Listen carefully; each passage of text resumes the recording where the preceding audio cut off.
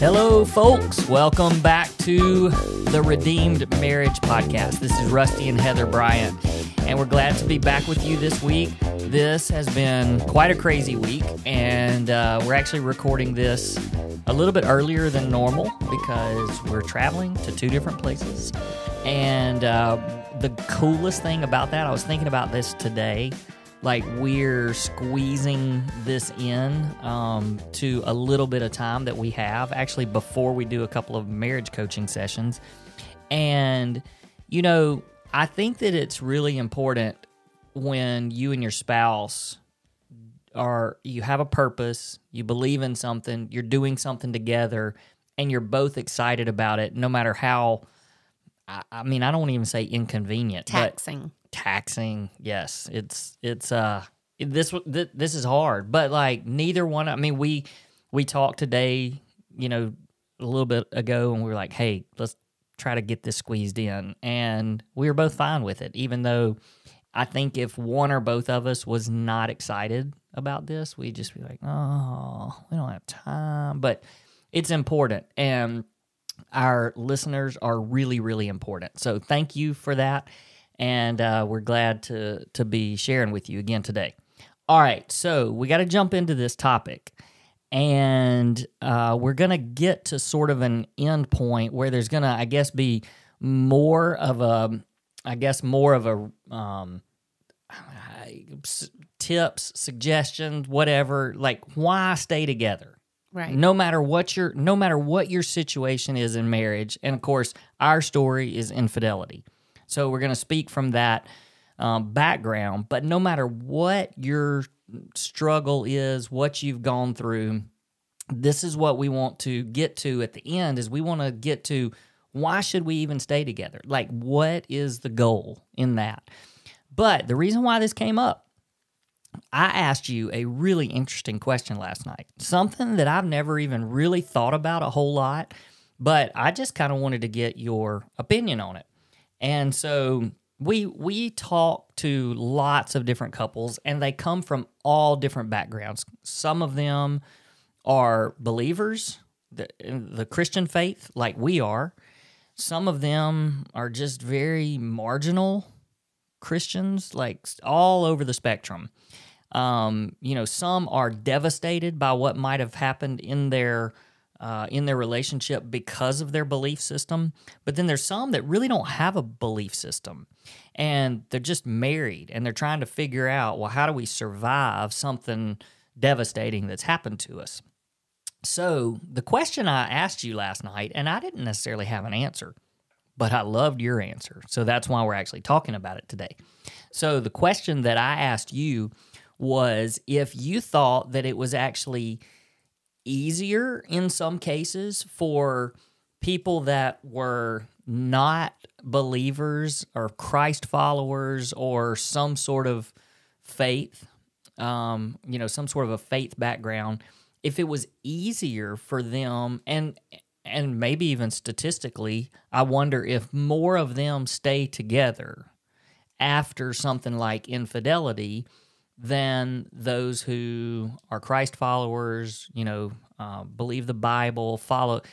And I had reasons for asking that because my my line of thinking was, you know, these people that don't really have a faith background, they're they're married and they're living, you know, as a married couple, but they don't have this um, faith backed moral compass. Now they have. I mean, there's good people, That's and right. and I, and I do believe that so many of them, like they know something's not right about, you know, having an affair or being with somebody that's not your spouse. However, there's a lot of those people too that there's open relationships and you know that kind of stuff that because they just don't they don't have the same set of guidelines Right. that somebody that that might be a Christ follower follower would have. And so I thought, well, is it easier for those people to kind of just brush it aside and be like, "Ah, well, you screwed up," you know, and I mean, I screw up and heck, I may do the same thing one day and, you know, who knows. Um And I'm not downplaying those people Sure. at all and their commitment to marriage. Right. I just was raising the question because on the flip side of that, I think about how difficult it is on one hand for cuz cuz we can sit here and we can say how did we we could have never made this without our faith mm-hmm. and without our our faith background and our belief in Jesus and what you know that part of our lives. But at the same time maybe that's what makes it harder mm-hmm. sometimes. Because there's this set of beliefs that we believe and even biblically where you can justify and say well i mean you crossed a line. You mm-hmm. crossed a biblical line and so i've got every right to leave mm-hmm. And so i asked you that question because i was like does it make it harder for people that are christ followers as opposed to those that really don't have any faith background and they're just kind of like yeah let's stay together it's just easier that way and your answer was amazing and i loved it Oh, great! So I'll tell- never say it again. so tell you tell your answer Well, before I say before I say my answer, I want to tell you, and you probably don't know this. I remember specifically where we were, like waiting to turn left on county line county line road specifically know where we were. When you said to me and it was early after i confessed to having an affair it was really early you said to me like i think all the time how could you have done this because we are Christians and you know the rule you not the rule you know the um standard that we're supposed to live by and then you said i mean there's people all over that don't even have a faith in god and don't even believe in god and don't have these um moral standards and they stay married and don't have an affair yeah i remember i remember do that you? conversation Yeah. Mhm. And I mean, that was hard for me because I was like, yeah. I mean, at that point, it was still like, hmm yeah, you're right. You're right. You know, I mean, I didn't have an answer for it, but that's the same type type thing, you know, like you would think it would be easier for somebody that didn't have the standards that we have as Christians because of the 10 commandments and it tells Right, us, you know, right. that we're not to commit adultery. You would think that would make it harder for us to step out and Right. step out uh, step over the boundaries of marriage. But I mean, it would make that harder for us to do. Yeah, because I remember, like, now that you're bringing this up, I just remember thinking through all of that and going, you know, there's people out there that they don't adhere to this to this Christian faith like us, and they're just good people, Right. and they just know Yeah. that that's not right. That's right. Like, don't do that. yeah. And I thought, how could you or how could anybody, you know, that that really is a you know, professing to follow Christ and his teachings and all of that. How does that happen when other people that don't even, Right. you know, And of course, we've talked through a lot of stuff between um, 12 years ago. Because, I, like I said, that was definitely in the first month of Yeah. us processing, if not the first few weeks of us processing. And we've come a long way since that. But the question you raised to me last night, um, I real, you know, I answered pretty quickly. Oh, yeah. Um, it wasn't like, oh, let me ponder this and see what other people say. It was pretty straightforward what I what I believed because I felt like you were saying when you asked me that you thought it would be easier for people to stay together that were married because we, you know, have this covenant relationship that we have said before each other and before God that we're going to stay together. And I do believe that that is true, that we want to honor that covenant. But I also think that's really dangerous because we are honoring a covenant without our hearts being really ready to stay in our marriage and make it good. So then I compared that to the people who don't have you know who it's just a piece of paper or a license a license of marriage where mm-hmm. it's not necessarily a covenant before God in mm-hmm. their eyes. It's a contract. And Yeah. in most cases, I mean, you know, let's let's give the benefit of the doubt too that it's a commitment. Like Sure. they're making a commitment right. to someone. Yeah, a commitment. I like that. And but for somebody who has made a commitment, but yet they don't think biblically about it being a covenant before the Lord Mm-hmm. and to each other before the Lord before the Lord. Um if they don't have that, then I think it's easier for them mentally to say, okay, well, it didn't work and we're just going to Break the contract. break the break the contract and just say you know they didn't honor their commitment so i'm out and they don't have to worry about that covenant relationship but when they choose to stay they're doing it because they want to make their marriage work Mm, where i think believers who are very firm in their faith and trying to find, I mean, to follow biblical principle, then they're choosing to stay because they're in a covenant relationship and they know it's, quote, wrong to leave, but their heart is not in it and to make it. It's not a choice because they want to. It's a choice because they have to. I think that's I think that's so good. All of that was perfectly said. Let's do this. Let's maybe talk through. Let's just say that there's. I, I have a feeling that a lot of people that listen to us they are believers, no matter where they are on the spectrum. Not everybody, but there's a lot of them because that's what we teach and that's what mm-hmm. we're that's what we're um, promoting and talking about, and just how how our story intertwines with our faith. But for somebody out there that's either gone through infidelity or something else that's been some sort of a marriage crisis and they're electing to stay together, let's throw out some some reasons why people stay together. Especially believers. So I'm talking talking about believers because you've already talked about the person that's a non-believer that you know, they may stay for some of these same reasons, Sure. but for the most part, they're like, "Hey, I want to try to make this work because we're compatible We've made a commitment to each other you know let's let's let's see if we can make this work but for a believer there is first of all like you said there's this covenant and and there's this um you know i made a commitment before god and i want br- i don't want to break that but i think there's other reasons that people stick around too Right. Yeah. Well, I think one for both would be children. absolutely Um, and I think that's believers and non. like, you know, you want to s- stick around for um your children. Um, How about this? I thought about this today. I think a lot of people, um, and maybe I'm wrong, but I don't think that I am. I think that some couples that are a part of a faith family will stick together because of their reputation inside of the faith family. sure.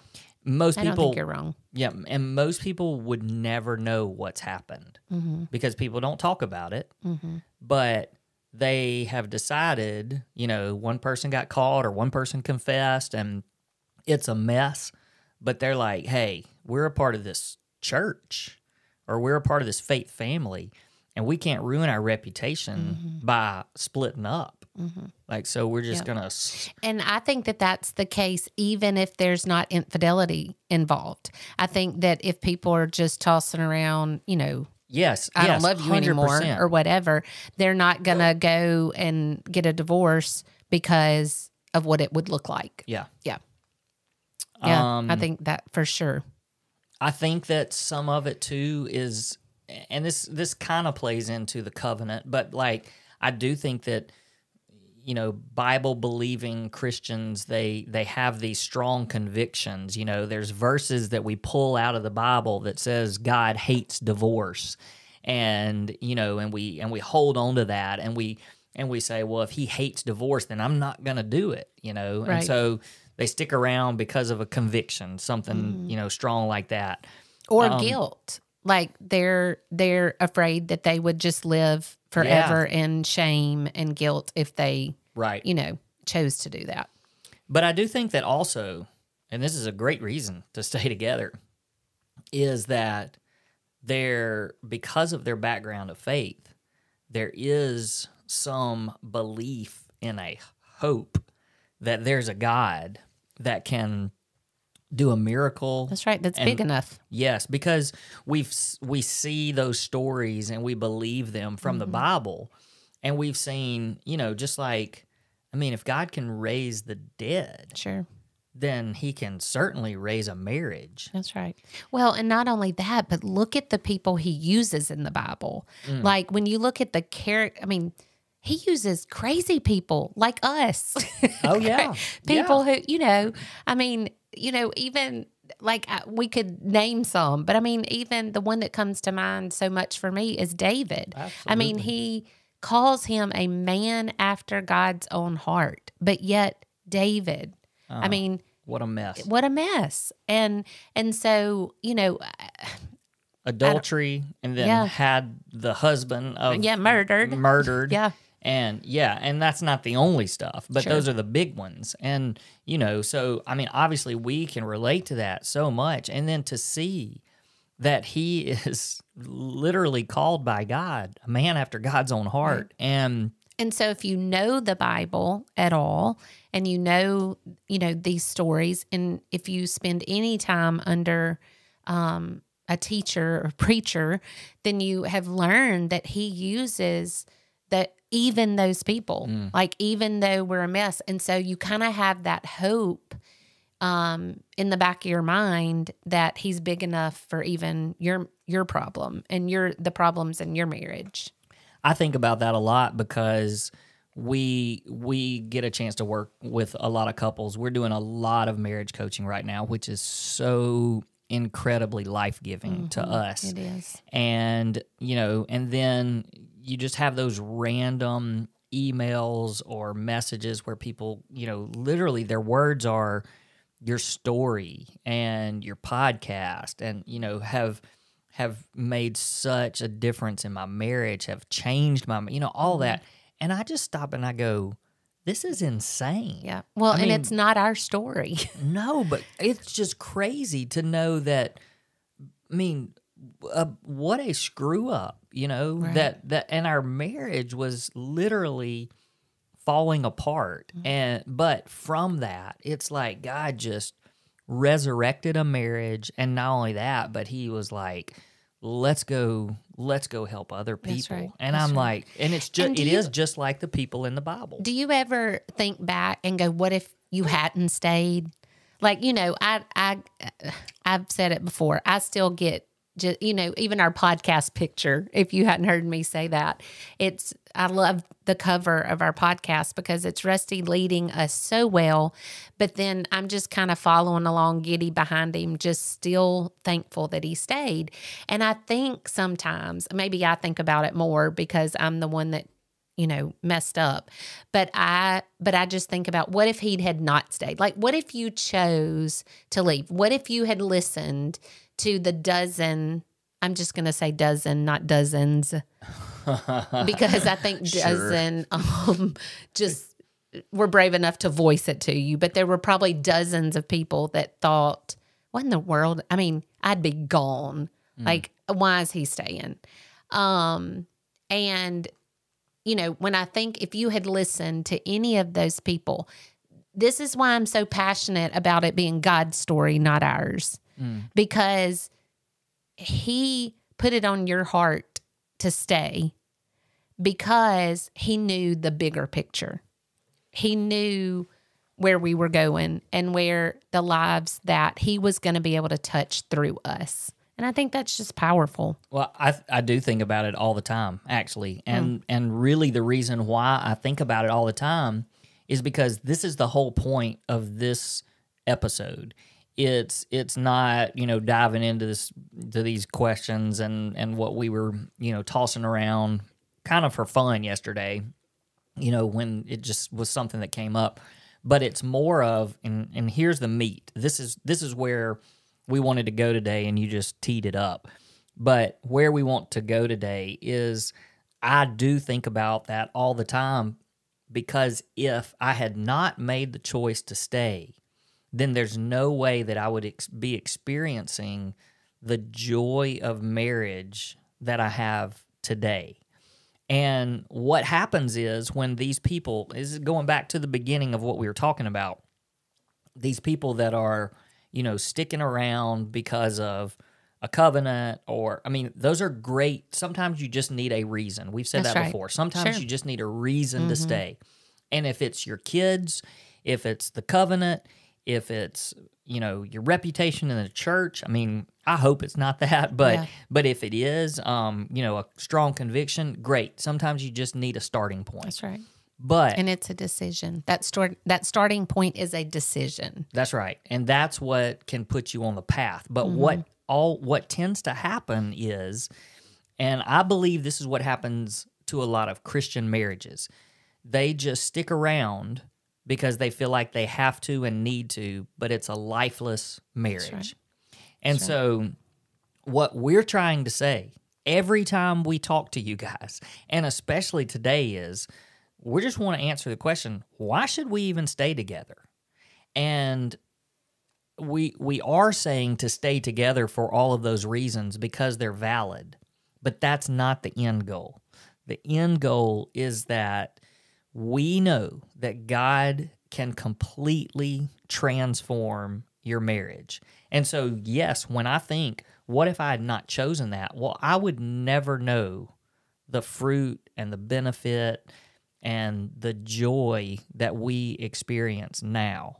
And so, the whole reason why we do this is so people can have hope and people and and yes there's marriages out there that are great and they love you know they listen to us because we've been through so much stuff that we can tell just tips about marriage and you know they come to us for you know how do we make our marriage better? Like what should y'all have done to not be in the position you know mm-hmm. all of that. But most people come to us because they're like I, it, you know, whatever y'all have, like, how do you get there? And you get there first by committing to stay together. I, I, and, and for some reason, I feel like we have to say this every time. We, there are people out there that cannot stay with That's their right. spouse, and and you've already had to leave them Yep. for various reasons.